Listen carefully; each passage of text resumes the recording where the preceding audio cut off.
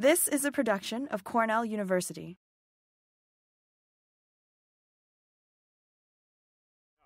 Okay, um, so I'm going to be talking about our, our diploid and triploid hemp cultivar trials that we've been doing these past two years. If you were here last year, then you got to see um, year one in the field, and then this is our, our year two trial in these first two rows uh, here.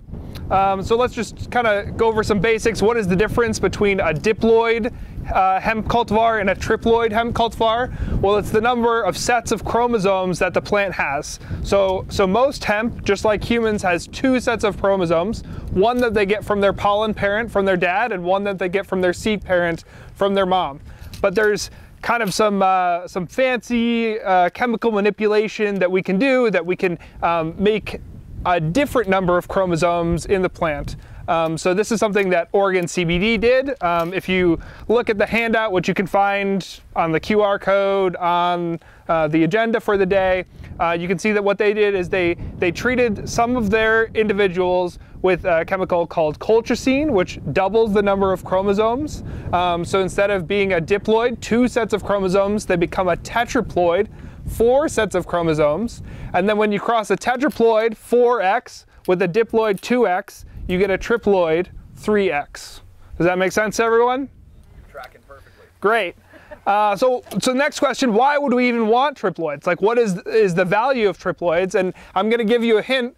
Uh, things like seedless watermelon and bananas are also triploid, um, naturally or man-made. And the benefit in some species of being triploid is that they do not usually produce viable seeds.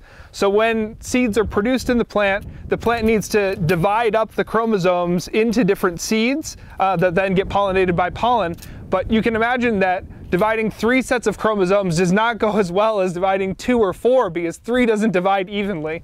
Uh, so it's much harder for these plants uh, to make seed and often the triploids are seedless, are sterile. Um, so people were interested in this from a hemp perspective because if you're producing cannabinoids, you want unpollinated female inflorescences. Um, so pollen management is something that a lot of growers have to deal with, something that drives people to do indoor cultivation, um, to really need to, to manage the production of um, males in their field and also uh, grain and fiber production in a several mile radius because hemp and cannabis is wind pollinated and that pollen can travel really great distances. Uh, so the idea was that if we could have these triploid cultivars, they would be seedless. You could grow them without the fear of pollination. And to test that, us, uh, along with um, our colleagues at North Carolina State and the University of Kentucky, decided to do a trial where we planted these diploid and triploid cultivars at sites that were pollen free and also sites that were pollen challenged. So this is our pollen challenge site. You can see our grain and fiber planting right behind it. There's a ton of pollen there. So if these plants were gonna get pollinated, we're giving them the, the best opportunity to get pollinated here. Um, so we're interested in comparing the diploid and triploid cultivars at our pollinated and pollen-free sites. And if you look on our handout, um, I'm presenting some of the data from our sites last year. Um, really, really exciting and interesting data. Um, so the diploids produce seed as expected. Um, interestingly, the triploids also produced some seed, dramatically less seed, but some seed still. Um, so as a proportion of the total biomass, our diploids produced, you know, 40 or 50% of the total biomass was seed, whereas our triploids, it was generally less than 10%, as low as 1%, even in a pollinated environment. So a pretty dramatic reduction in, in seed. And that also corresponds with um, the, the, the cannabinoid measurements. So we measured cannabinoids at three weeks after the initiation of flowering, five weeks after the initiation of flowering, and also bulk stripped floral biomass. And um, for our diploid varieties, we saw significant reductions in cannabinoid content at our pollinated sites. So more seed, less cannabinoids, probably a combination of things like the, the total biomass being diluted by seed biomass, which is very low in cannabinoids because the cannabinoids are not produced in the seeds. But if we look at our triploids, at our pollinated and pollen-free environments, they produced about the same amount of cannabinoids. So we didn't see that dilution effect, even though there was a little bit of seed production. Um, so I think that's all I, I really want to say. You can see more on the handout, and I, I would be happy to take any questions, or we can walk around for a minute or two before we have to go to Luis and uh, Jamie's talk right across the street here.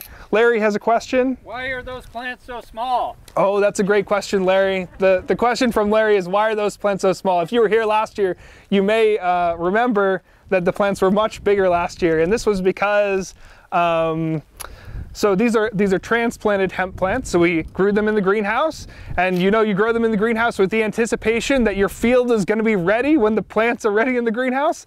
Unfortunately, we had a very wet June, and this field did not have plastic. It was not plowed up. We couldn't get the tractors in here, so we weren't able to transplant that initial set of plants that would have been, you know, probably this big by now. So what we did is we planted a second round of seedlings, which were delayed about a month, and, and these are those, so they're significantly smaller than, than one would expect. Um, but we should be able to get still good data off of them, uh, even though the plants are smaller. Any other questions? Yes, Tyler. Yeah, I'm just curious, are all of these plants triploid out here that we're going to look at, or do you have some comparison like diploid versus That's a great, great question, Tyler. Um, so Tyler asked if all of the plants are diploid, or all of the plants are triploid, or if there's there's mixtures. So the diploid triploid trial is actually just a very small portion of this field. Um, we have a lot of other exciting stuff that I, I don't get to talk about in the rest of the field. Uh, so these first two rows are the diploid triploid trial, and we have three uh, pairs of diploid and triploid cultivars. So three diploids and three triploids, uh, and they're replicated in five plant plots four times. So there are both diploids and triploids in the field. Yes. Um, any other questions? Yes? What, um, what's the effect of the triploidy on the vegetative growth or other aspects of the plant growth? That's a great question. So the question was, uh, does the being triploid compared to being diploid um, increase maybe the biomass or the concentration of cannabinoids? Uh, so based on the data from last year, I don't think we saw evidence of that. Um, you know, in the in the pollinated trials, obviously the diploids produced seed and the triploids did not. Um, so there was a, a, difference in concentration there, but overall, I don't think we see an effect of triploids being, you know, larger than diploids or producing 50% more cannabinoids in an unpollinated field. Yes, Tyler. Um, have you worked at all? You mentioned tetraploids as well. Have you tried to grow out any tetraploids? Uh, so Tyler's asking if we have grown any tetraploids here, um, and to my knowledge, we have not grown any tetraploids here.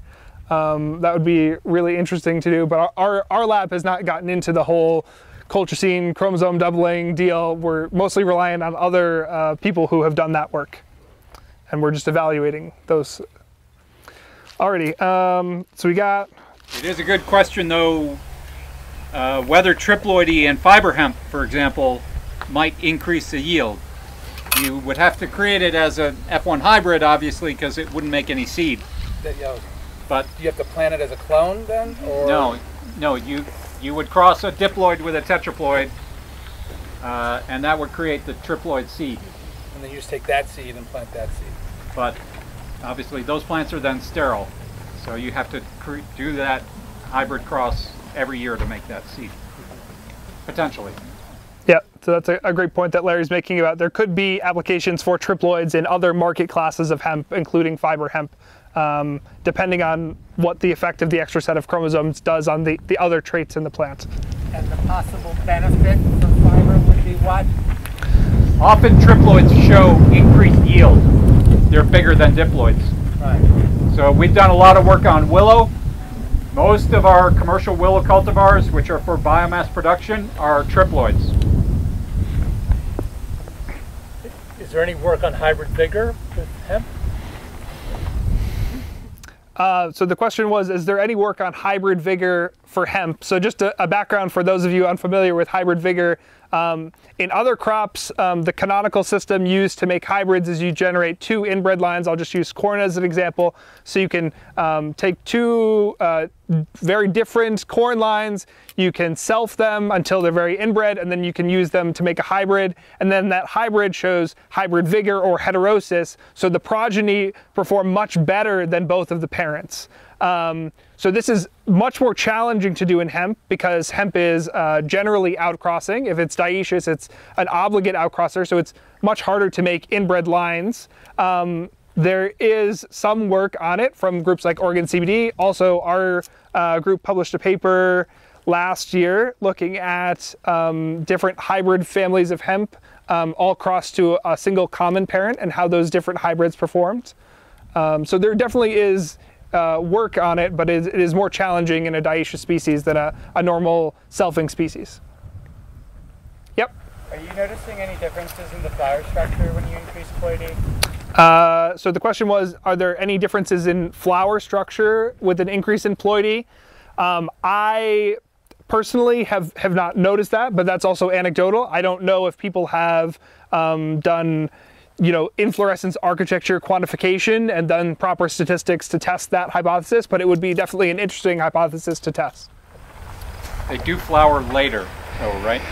Um, so, so in these these diploid triploid comparisons, we do see that the triploids generally flower later, um, which could be an effect of being triploid. Uh, It also could be effect of uh, flowering time genes that are segregating in these populations. So when Oregon CBD makes their uh, their hybrids, they use an autoflower parent as their pollen parent, um, so they can, well, for, for a variety of reasons, but um, that is uh, one of the, the things that is uh, just innately part of all of their hybrids. Um, so in, in diploids, um, the hybrids have one dose out of two from that autoflower parent, but in uh, triploids, it's one dose out of three.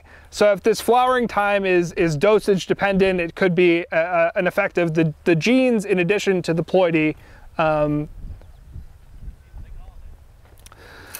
Alrighty, I, I think we're running out of time here, but um, um, I'll be around if anybody has any questions, and I'm excited to hear what Luis and Jamie have to talk about at the next stop. Are you going to speak here?